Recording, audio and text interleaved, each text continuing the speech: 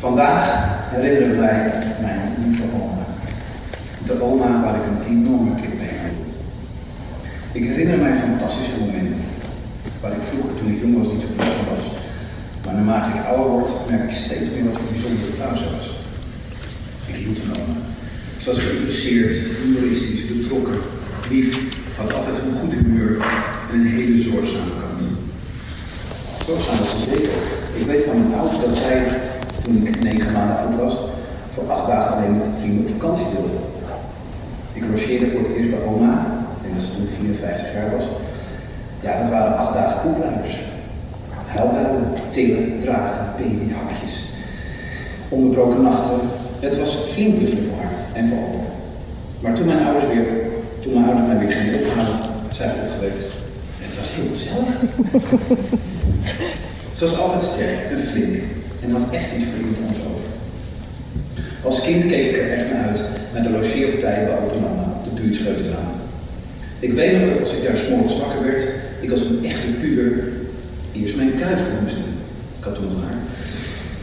En hoewel het niet helemaal op smaak was, hield ze me geconcentreerd. Met zo'n grote, doorzichtige, blauwe, drillige gel pot met, met het etaleren van mijn kuif. En toen het klaar was, verheugde ik me op haar printappel. Want oh, wat was dat bizar lekker. Echt. Het recept is voor mij nog altijd onbekend.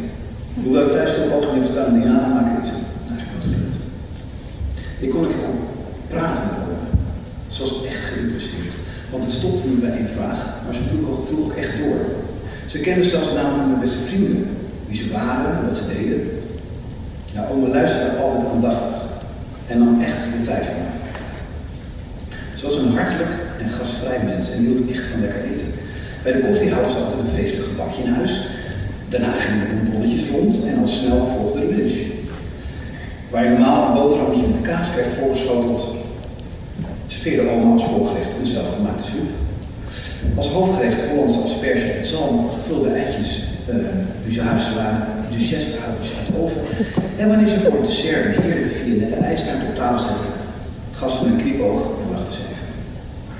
Oma was enorm bij de tijd en haalde op haar tachtigste nog een splinternieuwe computer in huis. Ik kan me nog goed herinneren dat ik van oma een vriendschapsverzoek op Facebook kreeg. Nou, uh, daarna ging ze natuurlijk liken, uh, uitgaan, Amsterdamse clubs, gave festivals, leuke citytrips. En toen ik voor een verre reis besloot om een fotocamera te kopen, haar om advies. Zij had immers net de nieuwste Nikon fotocamera gescoord. En wist alles van full frame sensors, megapixels, vetste, lenzen. En eenmaal terug van vakantie ging ik op haar bezoek en showde ze me trots haar fotoboeken met de vele zonsondergangen van haar balkon en vele kleurrijke bloemen. Omdat we regelmatig WhatsAppten, maakte Berit en ik tijdens onze vakantie speciaal voor allemaal leuke video's. Waarin we uitlichten waar we waren en wat we beleefden. En daar reageerde ze nog meteen op. Zelfs toen, ze 94 jaar was, appte ze me om een fijne verjaardag te wensen. 94 jaar. Ze genoot ook altijd enorm als mijn dochter Fine, toen was ze denk ik twee jaar oud, via FaceTime met haar beeldbel. Dan zat Fine met haar pretkoppie onder de zeep, op, uh, onder de zeep in bad te spetteren en zat oma aan de andere kant van haar rolstoel te schateren. Ondanks dat ze de laatste jaren fysiek achteruit ging en lichamelijke klachten kreeg, klaagde ze nooit. En ze was vrolijk en opgewekt als langskwam. Ze genoot er ook altijd van als we haar meenamen voor een uitgebreide lunch bij de strand van. En ze hield echt van lekker eten. De bezoekjes met onze dochters in het Linkenberg waren altijd gezellig. En nu hadden wij gebakjes meegenomen. Oma genoot dan enorm van de kleintjes en probeerde dan contact te maken met een bal of een knuffelbeertje. En dan snel was het ijs gebroken en vielen kindjes lachend bij haar op en dan was het. Dit zijn enkele waardevolle herinneringen aan oma. En ik heb er nog veel, veel meer. Ik ben enorm blij en gelukkig dat ik het zo met haar getroffen heb. Zo zou ik later als opa ook graag aan een kleinkind willen zijn. Lieve oma, bedankt voor alle liefde. En die mooie herinneringen. Nou jongens.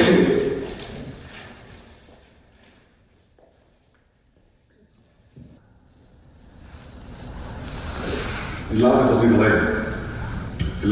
Alleen. Het zijn de laatste woorden die oma tegen mij heeft gezegd de maand ervoor overlijden. Ik was op dat moment bij haar met mijn kinderen. Die zondag ervoor was ik geweest met Saskia. Oma lag toen in bed en was niet aanspreekbaar, want ze continu rechtop. We hebben daar een uur wat gezeten en een hand vastgehouden. Maar toen we weggingen werd allemaal klaar bij elkaar.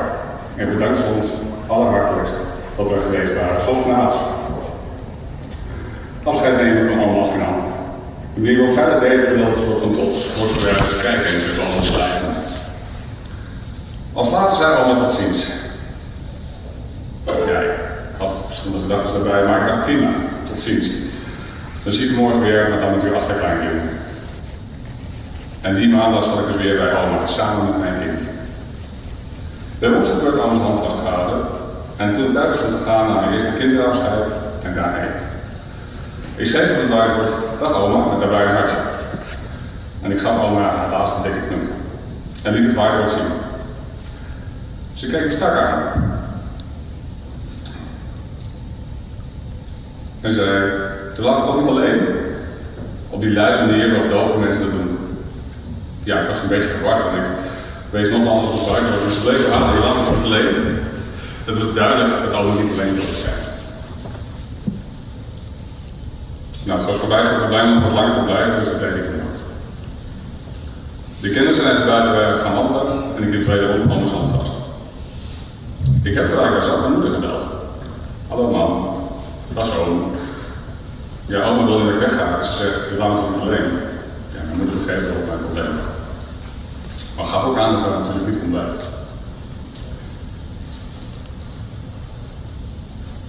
En dat ik uiteindelijk toch naar huis moest gaan. Uiteraard wist ik dat al lang. Maar daarom belde ik natuurlijk ook helemaal niet. Oma wilde niet alleen zijn en ik wilde dat daar iets mee zou gaan gebeuren. Na een minuut of ben ik toch vertrokken. Oma boos en gefrustreerd achterlaten. Thuis aangekomen, even gesproken met Saskia en vrouw en daarna mijn zus gebeld, die is internist en heeft ervaring in dit soort zaken. En het bleek dat zij had aangegeven dat het waarschijnlijk niet langer zou gaan duren dan een week. Ja, het was mij, wat mij betreft tijd voor een raken. Maar de kinderen wilden daar niet aan, natuurlijk, het zou nog, weken tijd. De reden is dat ik met mensen gesproken heb, of volgens mijn moeder te bellen, is niet omdat ik bang, bang ben voor de reactie van mijn moeder, maar ik vind het belangrijk om dit soort zaken zorgvuldig te handelen. En niet alleen op mijn gevoel. Het gesprek met mijn moeder was kort. Ze was het met mij eens dat we gaan houden en ze zouden bespreken met andere kinderen. En ik vind het toch altijd bijzonder als kind om ja, dat ouders aan advies van je luisteren. Er is een groep aangemaakt, een agenda geregeld. Dank u wel. En binnen de keren was er vanaf dinsdag altijd aanwezig, iemand aanwezig bij oma. En niet alleen de kinderen, maar ook de kleinkinderen. Iedereen deed mee. Echt heel mooi om te zien. Ik wil ook iedereen bedanken die een statusupdate heeft geschreven over wat er in hun tijd met oma is gebeurd. Dat was echt heel waardevol voor mij, maar ik denk voor iedereen. Namens oma bedank ik jullie voor jullie aanwezigheid tijdens de waken. En de manier waarop dit is gegaan. Fictieloos, alsof het de normaalste zaak van de wereld was om dit te doen. Ik zelf ben heel trots om onderdeel te zijn van deze familie. Oma wil ik bedanken dat zij kenbaar, haar wensen herkenbaar heeft gemaakt, zodat wij als familie haar het einde konden geven waar zij de behoefte aan had. Uiteindelijk zei ik allemaal iets voor de laatste keer. Mijn laatste woorden op het whiteboard van oma waren: Dag oma, ik moet gaan, ik moet werken. Ook ik blunder soms door het leven heen. Ik had al gehoopt dat zij een gips zou hebben waarom ik haar alleen achter moet laten.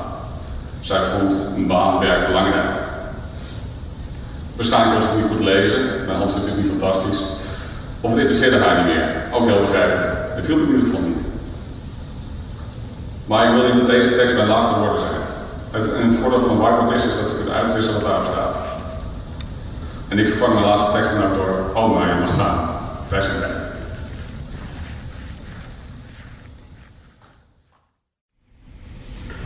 Laat Dorens. Lukte Roos. Ze is er niet meer, onze man. Maar wat is ze er geweest in ons leven? Haar onvermoeidbare levenslust en optimisme zullen we altijd als voorbeeld met ons meedragen. Ze werd geboren in 1926 in Westerbork. In een gezin met vijf kinderen en één jongen en vier meisjes. En zij was de tweede dochter. Het was een goed en christelijk gezin dat de Tweede Wereldoorlog met elkaar meemaakte. Oog en hart hebben voor je medemens werd haar in deze oorlog al vroeg bijgebracht. En ook wij kennen haar niet anders dan dat ze aandacht had voor anderen. Kaartjes stuurde, cadeautjes kocht, belde en drie gangen maaltijden maakte als je bleef eten, zomaar door de week. Zo belde ze ons bij ziekte of onheil liefst iedere dag toen we al op onszelf woonden. Hartverwarmend en betrokken, hoewel één keer per twee dagen ook echt genoeg was geweest. Ze bleek op school een uitstekende leerling. Leergierigheid liep als een rode draad door haar leven.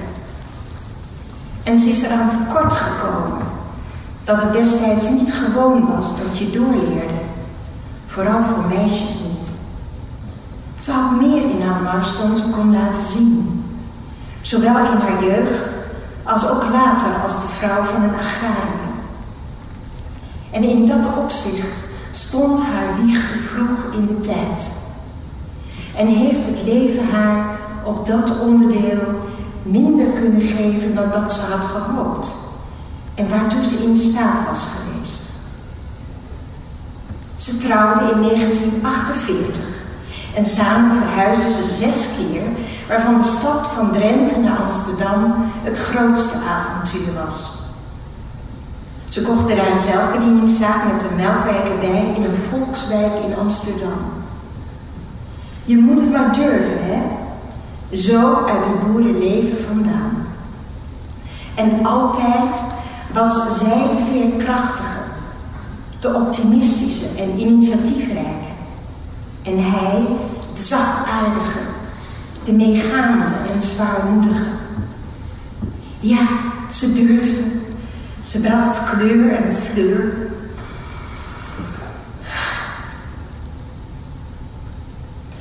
En leven in de brouwerij, stippelde de route uit en sliep voorop. En hij gaf rust en kalmte en volgde, maar altijd samen. En het was dankzij mams onvermoeibare draagkracht en trouw dat pap, ondanks zijn zwaarmoedigheid, zijn haperende gezondheid en de trauma's die hij opliep, staande kon. Zo trouw. Elke vijf jaar werd een huwelijksdag uitgebreid gevierd. En wij als nageslacht kregen dan de kans, nou ja, het was meer een stille opdracht eigenlijk, het feest te vullen met toneelstukjes, liederen, gedichten, quizzen en gezelschapsspelen. Niks was haar te gek. Ons ook niet. Je vier dagen vieren, liefst allemaal met elkaar, leerden we van hem. Wij als kinderen kregen haar levensmotto's voorgeleefd. Belangstelling en zorg tonen voor anderen. Je aan wat fatsoensnormen houden. En niet te snel piepen. Een voorbeeld. Mama had vroeger ongelooflijk veel hoofdpijn en jarenlang leefde ze van aspirine naar aspirine. En er kwamen zelfs healers in onze boerderij in een tijd dat naar de dokter gaan alleen nog voor was. We merkten dat allemaal niet als kinderen, behalve toen we als tieners de decibellen ver overschreden met onze popmuziek. En vriendelijk klonk dan, jongens, mag het een beetje zachter. Geen geklaag, geen gepiep, geen gezeur. Het adagio was verdragen, er zoveel mogelijk over zwijgen kop op. En dat bracht ons veel goeds. En de schaduwkant was er ook. Ze vond het moeilijk haar angst en pijn te delen en er recht aan te doen. Wij, haar kinderen, hebben zonder uitzondering deze beide kanten van de medaille overgenomen. Ze was als moeder een leeuwin, volledig afgestemd op ons welzijn. En ze gaf hoog over ons op en verdedigde ons door dik en dun. En ook als we haar teleurstelden, verdriet deden of ze zich voor ons schaamde, bleef ze pal achter ons staan. Binnen de grenzen van ons gezin werd een prettige sfeer heel belangrijk gevonden. En dat was iets goeds. Maar we leerden ongemerkt ook om conflicten uit de weg te gaan of bespreekbaar te maken. En de invloed daarvan zit bij ons allen heel diep. We kunnen moeilijk ruzie maken en hebben dit ook weer doorgegeven aan onze eigen kinderen.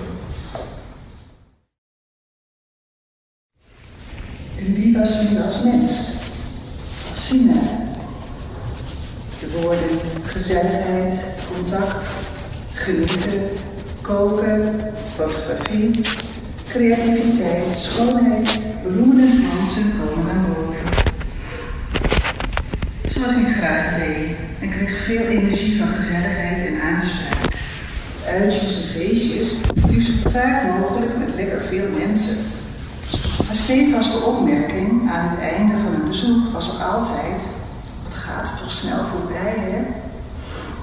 En dan ze graag list om je nog even te laten blijven. En alles altijd met lekker veel eten. Ja. Dus ze was een echte smulpaar. Het ging zelfs zo ver dat ze in de restaurants vaak alle gerechten fotografeerde en deze gedetailleerd op de mail op app zette om ons mee te laten genieten. In de laatste jaren van haar leven waren er Harm en Mary, die haar om de dag eten brachten of te eten uitnodigden. De man was heel erg onder de indruk van Mary's kookkunst en vertelde stevast tot aan de kruiden toe wat ze gegeten hadden. Dankjewel, lieve Harm en Mary, voor jullie toegewijde vriendschap. Ze kwam uit een gelovig milieu en is dan ook haar hele leven aangesloten geweest bij een protestantse gemeente. Ze was een vrijdenkend mens. Wij bewonderden het in haar dat ze kritisch kon zijn, nieuwe inzichten niet verketterde en geloofstijgers toeliet tot op hoge leeftijd.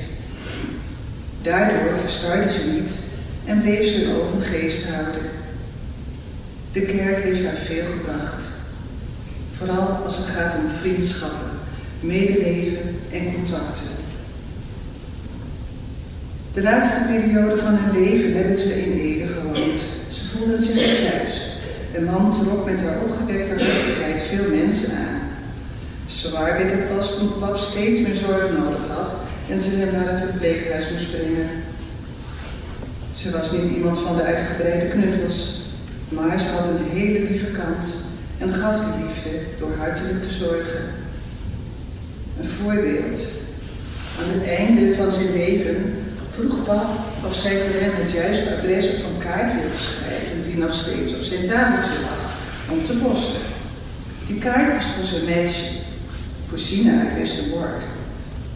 In plaats dat mijn moeder smalend zei, ach Geert, dat kan toch helemaal niet, ik zit hier naast je, zei ze. Dat is goed. Ik schrijf het adres op en doe hem voor je op de post. Een paar weken na zijn begrafenis in maart 2014 viel ze en brak haar heup, waarna een lange revalidatie volgde. Toch lukte het haar om op basis van wilskracht en inzet weer thuis te komen wonen. Maar toen ze na vijf jaar voor een tweede keer een heup brak, werd het verpleeghuis haar thuis. Ze heeft het goed gehad in de Klinkenberg. Ze voelde zich er veilig en thuis. En wij zijn de verzorging van de Klinkenberg enorm dankbaar voor een goede zorg, een respectvolle houding en een lieve en vriendelijke bejegening van onze moeder. Ze is niet meer bij ons.